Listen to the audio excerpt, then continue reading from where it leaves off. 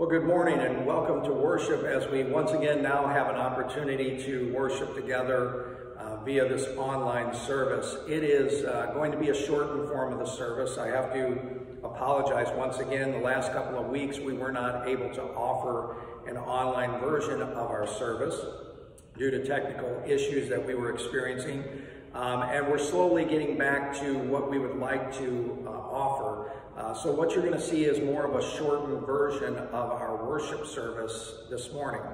Um, and part of that will include the opportunity to go to our, our website. I would encourage you to do that. Go to our website, stjohnsgrandhaven.com, and uh, find a copy of this worship service so that you're able to follow along. Uh, you may be able to print it off, you may be able to download it as well. If not, I will certainly try to cover all the parts, both the pastor's part and the responsive parts that normally you would take part in. Um, also, as you're on that website, uh, take some time later on today to check out the Connect With Us section. We now are offering electronic Connect cards. During our worship, normally we offer a physical uh, Connect card that people can fill out and return to us, but we haven't gone to that yet. But right now we are offering it online. So you can give us information about yourself. You can check off things that you are interested in, things that are going on here at St. John's. And then, of course, you can add prayer requests as well, and that'll go directly to our office. And then um, also, I want you to know that we are going to be offering VBS, Vacation Bible School, uh, in August. Uh, Craig Kashubi, our Director of Youth and Family Life Ministries, has done a phenomenal job of, of, getting all over this and using resources that are available. And we have an online resource, an online tool that allows us to do a virtual vacation Bible school, again, on August 5th through 7th. And folks, I've been able to look at some of this, go through some of the sample sections that they offer. And when I say that it is easy to use, it is easy to use, so there's nothing to fear. So look for more information about that virtual vacation Bible school. At this time, we will begin our worship as we always do by beginning uh, as we remember our baptism into Christ in the name of the Father, and of the Son, and of the Holy Spirit. Amen. Friends in Jesus, if we say we have no sin, we deceive ourselves and the truth is not in us. But if we confess our sins, God, who is faithful and just, will forgive our sins and cleanse us from all unrighteousness. Let us then confess our sins to God our Father.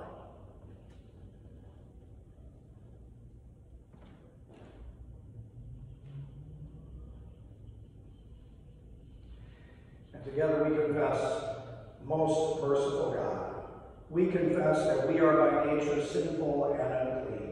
We have sinned against you in thought, word, and deed, by what we have done, and by what we have left undone. We have not loved you with our whole heart. We have not loved our neighbors as ourselves. We justly deserve your present and eternal punishment. For the sake of your Son, Jesus Christ, have mercy on us. Forgive us, renew us, and lead us, so that we may delight in your will and walk in your ways, to the glory of your holy name Almighty God, in his mercy, has given his Son to die for you, and for his sake forgives you all your sins. As a called and ordained servant of Christ, and by his authority, I therefore forgive you all your sins in the name of the Father, and of the Son, and of the Holy Spirit. Amen. And the Lord be with you. Let us pray. O God, so rule and govern our hearts and minds by your Holy Spirit that, ever mindful of your final judgment, we may be stirred up to holiness of living here and dwell with you in perfect joy hereafter. Through Jesus Christ, your Son, our Lord, who lives and reigns with you and the Holy Spirit, one God, now and forever. Amen.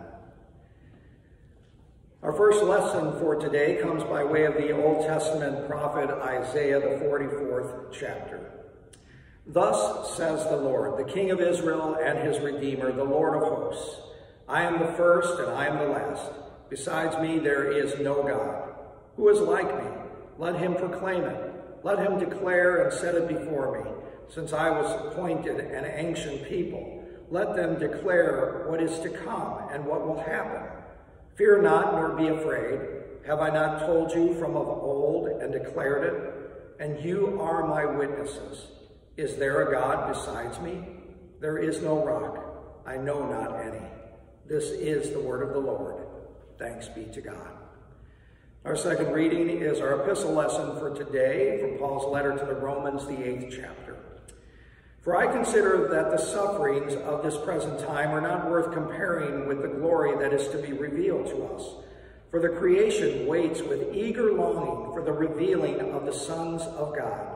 For the creation was subjected to futility, not willingly, but because of him who subjected it, in hope that the creation itself will be set free from its bondage to decay and obtain the freedom of the glory of the children of God. For we know that the whole creation has been groaning together in the pains of childbirth until now. And not only the creation, but we ourselves, who have the first fruits of the Spirit, groan inwardly as we wait eagerly for adoption as sons, the redemption of our bodies. For in this hope we were saved. Now hope that is seen is not hope, for who hopes for what he sees? But if we hope for what we do not see, we wait for it with patience. Likewise, the Spirit helps us in our weakness, for we do not know what to pray for as we ought but the Spirit himself intercedes for us with groanings too deep for words. And he who searches hearts knows what is the mind of the Spirit, because the Spirit intercedes for the saints according to the will of God. This is the word of the Lord.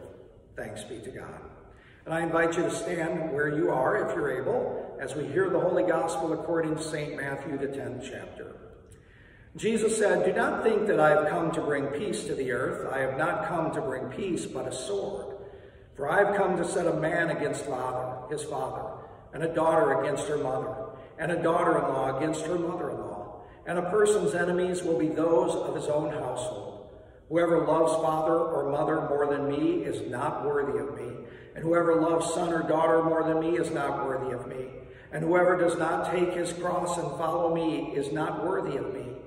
Whoever finds his life will lose it, and whoever loses his life for my sake will find it. Whoever receives you receives me, and whoever receives me receives him who sent me. The one who receives a prophet because he is a prophet will receive a prophet's reward.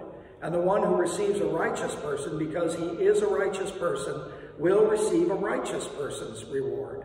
And whoever gives one of these little ones even a cup of cold water because he is a disciple Truly I say to you, he will by no means lose his reward. This is the gospel of the Lord. Praise to you, O Christ. You may be seated.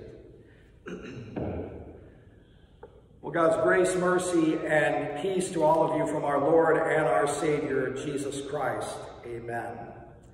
Well, it's here, folks, like it or not. We are at a year that is another presidential election year. And though it seems like 2020 has already brought with it just about everything and anything that we could possibly imagine and not have hope for, we are now in the midst of also being bombarded by TV commercials and radio commercials and cameo appearances by each of the presidential candidates. And just as has been the case in past election years, this election promises to bring with it some of the things we can always, always count on. Promises, promises, and more promises.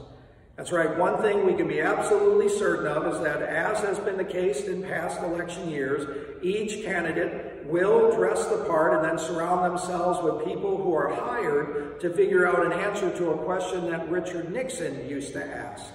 Will it sell? Or as he put it, will it sell in Peoria? That's what Nixon would often want to know when it came to dealing with some of the big issues or the big topics of his day. Will it sell in Peoria? Which was a good question. You see, the Coca-Cola company used to ask the very same question. Because what they discovered was that if a product would sell in Peoria, Illinois, which at that time was considered not only the geographical center of America, but also represented middle America, it would probably do well in other parts of the country too. And apparently President Nixon agreed with that whole philosophical thought. which is why when faced with questions as to how the American people would react to issues of his day, issues ranging from that of the Vietnam War to whether or not he should pay a visit to China, Nixon would ask those around him whether they thought the idea would sell in Peoria. Will it sell? I suppose it's a question that both President Trump and Senator Biden are asking and will most likely ask in the next three plus months. After all, they both fully realize the harsh reality when it comes to politics these days. Each could come up with the greatest ideas known to mankind. They could find a cure to COVID-19. They could fill everyone's wallets with cash. They could guarantee peace and reconciliation in the midst of all of the turmoil. But if they're not well received by the American people, they're just not going to get the votes. In fact, throughout the history of this country, it still remains true that to be a viable candidate, your message has to sell. Which is why then, after reading today's gospel lesson from Matthew, we can conclude one overriding truth about Jesus Christ. Jesus was no politician. In fact, what Jesus has to say today is, well, let's be honest, it sounds a little bit offensive. I mean, listen again to Jesus' words from Matthew chapter 10, verses 34 through 36. Jesus says, Do not think that I have come to bring peace to the earth. I have not come to bring peace, but a sword. I've come to set a man against his father, and a daughter against her mother, and a daughter-in-law against her mother-in-law, and a person's enemies will be those of his own household. Wow. So much for that whole peace on earth, goodwill toward men thing that we were singing about and reading about back at Christmas time. I mean, this definitely doesn't sound like the Sunday school Jesus that we've all become comfortable with now, does it? And it certainly does not sound like this is anything that's going to sell all that well in Peoria, let alone back in Jerusalem or here in Grand Haven. So maybe you can understand why when I began to plan out this sermon for this week, I I once again was tempted with the thought about going with something different, a different gospel reading. You see, you have to understand, I'm not much different than a lot of people. first of all, I'm not at all against what Jesus has to say. It's just that these days, right now, I just kind of want stuff that's less controversial. Because when it comes down to it, we're surrounded by controversy. There's so much chaos right now. And when it comes down to it, this text rightly brings up a lot of questions. In fact, it's one of those times when we hear Jesus say something that really isn't necessarily what we want to hear. And yet, as God's people, we are called to once again stop what we're doing, stop what we're thinking, stop what we're spewing, and just listen to Jesus. So, what is Jesus really saying when he says that he did not come to bring peace, but a sword? Well, first of all, it's a powerful, powerful reminder that while demonstrating a love and a mercy and a grace that this world has yet to fully comprehend, Jesus being 100% God in the flesh, the Word made flesh, he is also the very point of contention, conflict, and division that now continues between believers and unbelievers. Now, did he bring peace on earth? Oh, without a doubt. And through his crucifixion, an everlasting peace now exists between sinners and God. But since the arrival of the Son of God, a great battle has been ongoing. A great war is being waged that continues to rear its ugly head, even within the ones that we are closest to. And we know it's all too real, don't we? even within our own families, even with our friends. We rarely have to look all that far before we find at least someone who appears to have willingly walked away from Jesus and the truth of his word. I mean, who knows? Maybe it's passages like today's reading that has somehow sent them on their way. Maybe it's the demands that Jesus goes on to make in the verses that follow. Whatever the reason, we can now see why it can seem like a, a better idea to some to not just talk about uh, our relationship at all with others. It can be so safer, so much more safe. It's a lot safer to lay low on the topic of Jesus Christ than to, to bring up the fact that Jesus is the only way to salvation. Because you and I struggle with something that's all too real. We don't like to offend anyone. We don't necessarily want to stir things up. But that's not the way it is with Jesus. That's clearly not the Jesus and the way he sees it as we see him today. You see, the one who has made clear that he is the way and the truth and the life, the one who has made so clear that he is the Holy One of Israel, the great I am, the fulfillment of every promise made concerning the Messiah, he doesn't appear to be all that concerned with whether or not we like what he has to say. In fact, Jesus has no concern at all with whether or not his message will sell. Now, his concern is only to do with the truth, the truth that separates those living in darkness from those living in the light. But oh man, we don't like to talk that way, do we? I admit that this is one of the main reasons that with everything we've been dealing with and with all that's been going on in our lives, including my life, I would have rather preached on something well, a little simpler, something a little softer, a little safer, or at least something that might present a kinder, gentler Jesus than what we hear today. But honestly, I couldn't do it because we simply cannot get around his teachings. So, folks, we better get into them.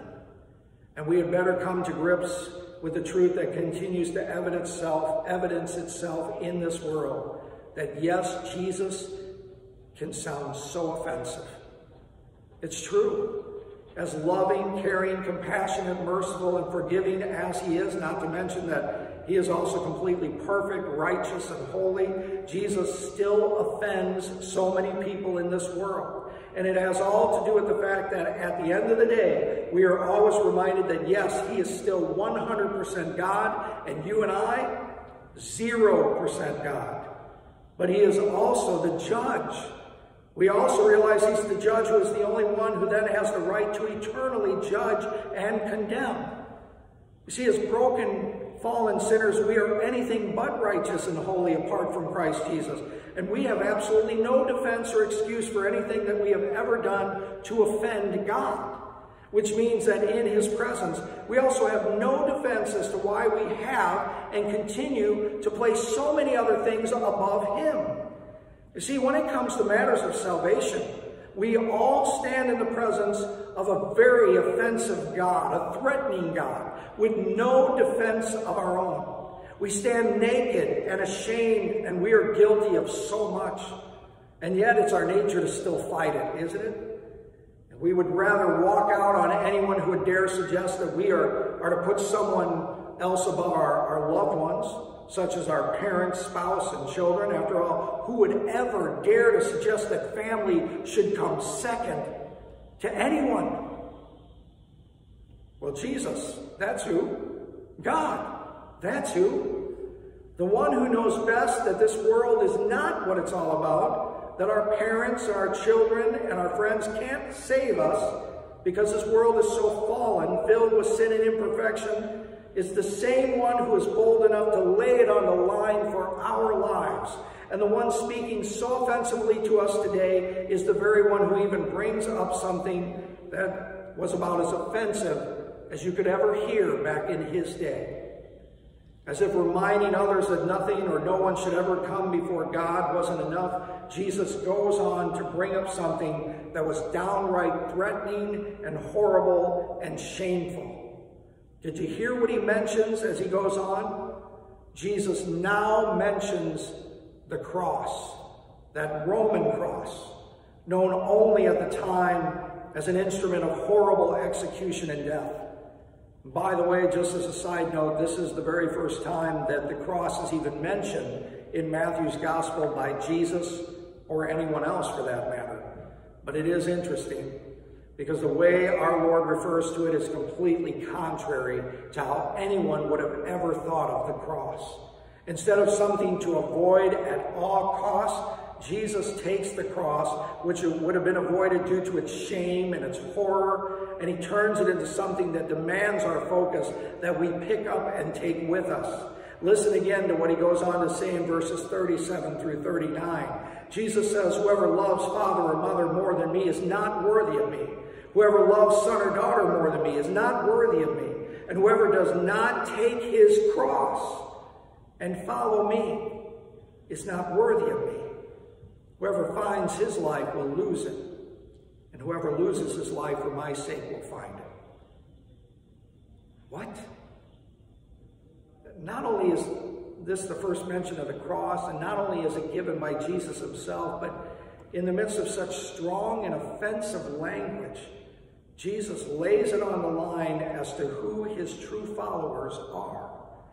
He even goes so far to tell us that we must be ready and willing to take up our cross each and every day as his followers. But there is good reason that he says this. This is so personal to Jesus.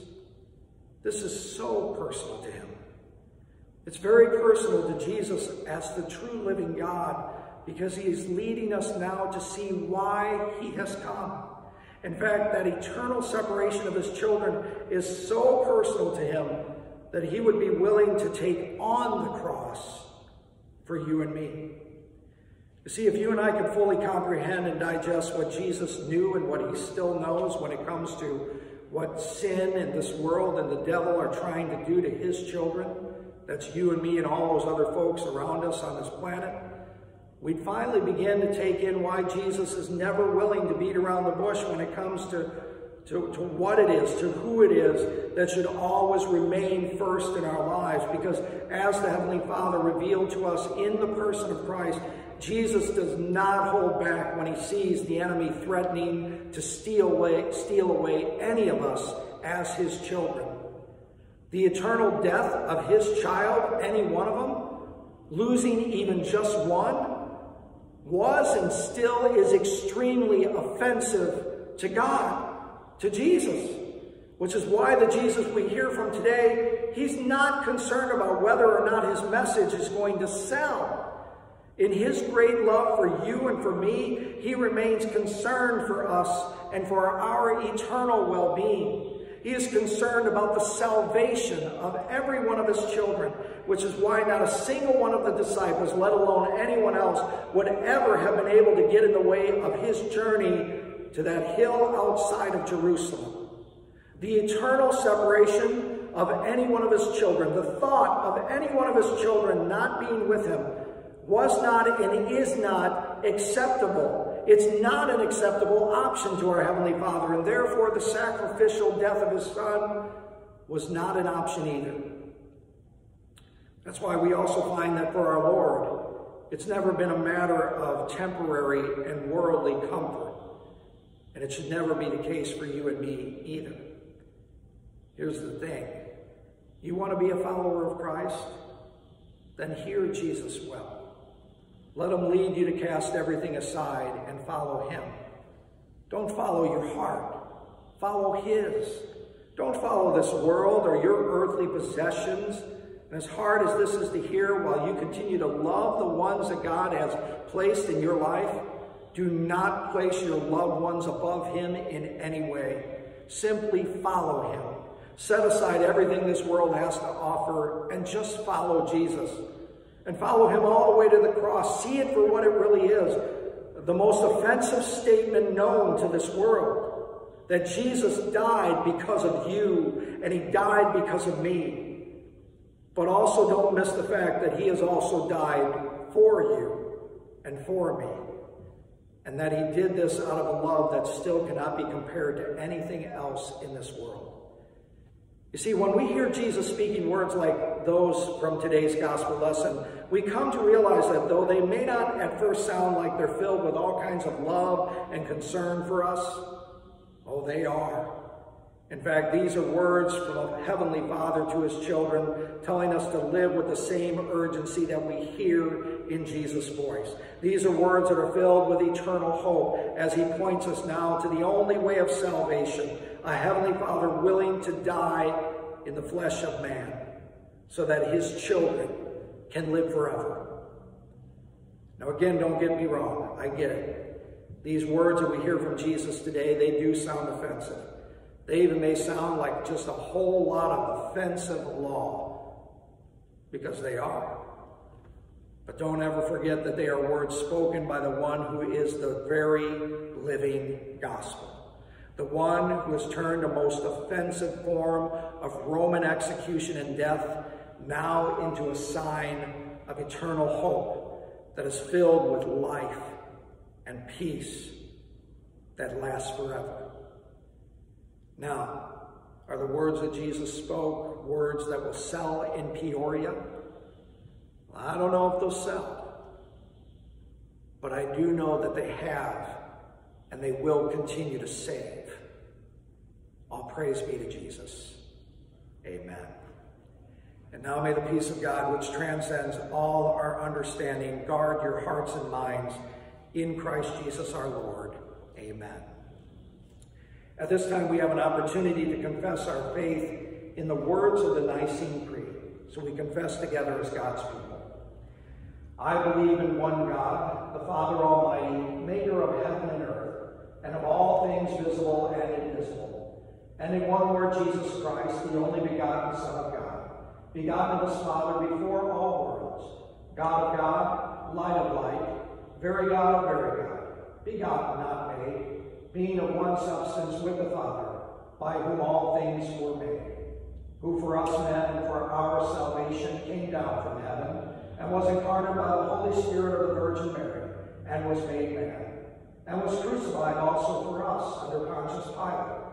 He suffered and was buried, and the third day he rose again according to the Scriptures, and ascended into heaven, and sits at the right hand of the Father.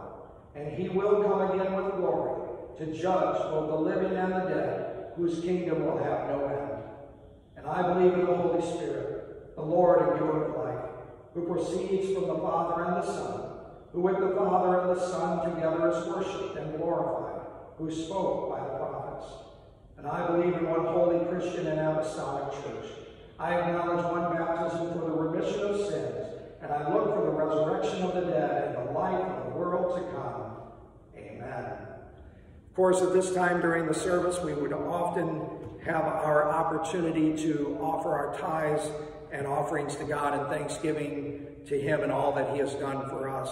I would encourage you to find creative ways to give. Uh, you can go to our website uh, to find ways to give online. You can also drop things off here at the church, but uh, just encourage you to continue to be faithful as God's stewards. At this time, we go to our Lord in prayer. Eternal Father, through your word you have called people out of every nation to be your church. Make your whole church a family that is strong in sound teaching and united in love. Move us so that we may not ignore your call to encourage those who are ensnared in sin, to speak your truth in love in order to win back our brothers and sisters. Lord, in your mercy, hear our prayer.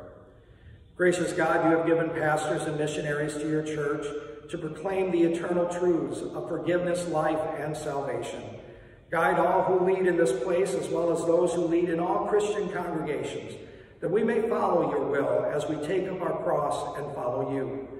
Empower us with your Spirit to joyfully serve in the areas to which you have gifted each and every one of us, that we may live our lives to the glory of your name in all that we say and do. Lord, in your mercy, hear our prayer. Lord Jesus, look graciously upon our nation. Protect its liberties and advance the daily and eternal welfare of all. Preserve those who serve in public office that under their leadership we may lead quiet and peaceful lives in all godliness and honesty.